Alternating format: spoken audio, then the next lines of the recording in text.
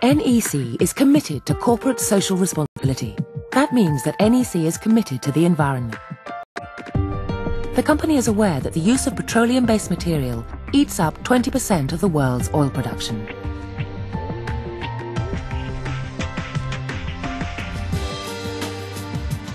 In Tsukuba, Japan, NEC have set this as their number one challenge.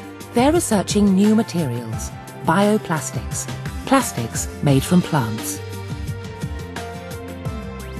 They began with a plastic made from corn. As the corn grows, it extracts carbon dioxide from the air. This plastic is renewable and recyclable, but its properties aren't good enough for all our everyday uses, in particular for electronic products. It's not heat resistant and under pressure it cracks. Dr. Masatoshi Iji and his team wanted to discover a super bioplastic that could be made without using petrochemicals. Amazingly, they found the answer in a remarkable plant called kenaf. 植物由来の材料というところにこだわったために新しい添加剤をいろいろ開発したり、えー、選択したりしなければならなかったのでこれもやはりあのかなりの苦労がありました Kenaf takes six months to go from seed to harvest, and just one field, such as here at the Nature Trust, absorbs twice the carbon dioxide compared to the same area of rainforest in the Amazon.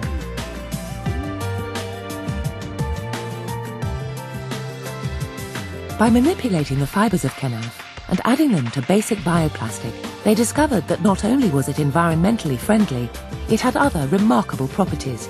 It had turned into a super bioplastic.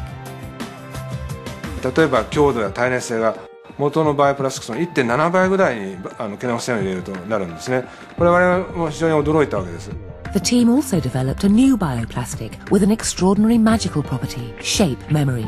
Apply heat and force and it can be molded into any shape. Heat it again and it returns back to its original form. An added benefit, it melts at high temperatures, which means it's also recyclable. これはもうあのあの初めて機能初めてのそのリサイクルと形状記憶っていう2つの機能を持つことをバイオプラスチックスで初めて実現できたこの辺が新しいところですね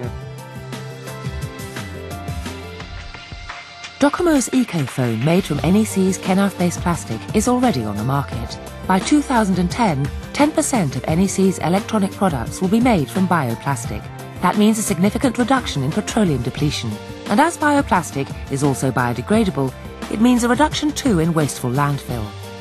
Bioplastics is just one area in which NEC is committing resources in order to develop far-reaching solutions for a healthier and safer environment. Empowered by innovation, NEC.